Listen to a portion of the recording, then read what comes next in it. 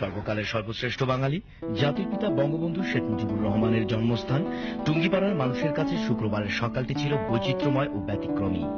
প্রধানমন্ত্রী শেখ হাসিনা রিক্সা ভ্যানে চড়ে গ্রামের মানুষের অবস্থা জানতে এবং গ্রাম বাংলার প্রাকৃতিক সৌন্দর্য উপভোগ করতে তার নিজ গ্রাম পরিদর্শন করেন।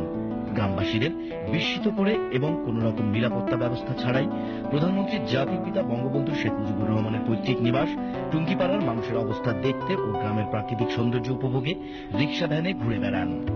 প্রধানমন্ত্রী প্রেস সচিব ইহসানুল করিম জানান, বঙ্গবন্ধুর জ্যেষ্ঠ কন্যা, প্রধানমন্ত্রী শেখ হাসিনা শুক্রবার সকালে রিক্সা ভ্যানে চড়ে প্রায় পনেরো মিনিট গ্রামটি পরিদর্শন করেন। তিনি বঙ্গবন্ধুর স্মৃতিসৌধ থেকে প্রায় এক কিলোমিটার পর্যন্ত যান।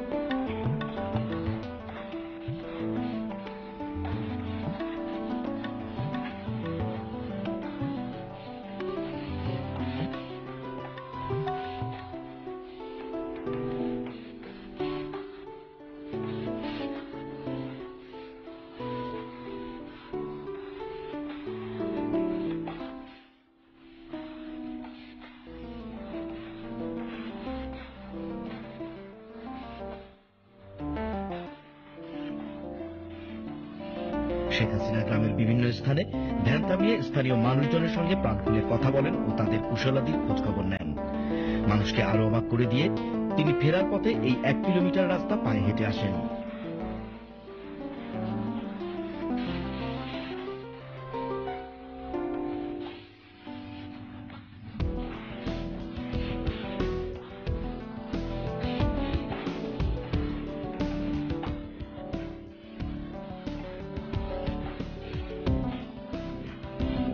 গ্রামবাসীও এভাবে বঙ্গবন্ধু কন্যা শেখ হাসিনাকে কাছে পেয়ে আবেগে আপ্লুত হয়ে পড়েন।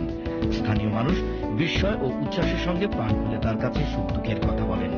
এ সময় তারা তাদের নানা সমস্যার কথা তুলে ধরলে প্রধানমন্ত্রী তাৎক্ষণিকভাবে এসব সমস্যার সমাধানে সংশ্লিষ্ট কর্মকর্তাদের নির্দেশ দেন।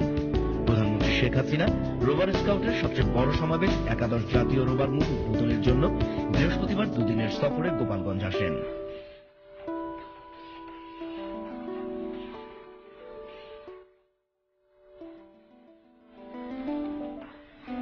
শাখাওয়াত মুন বাংলাদেশ টেলিভিশন।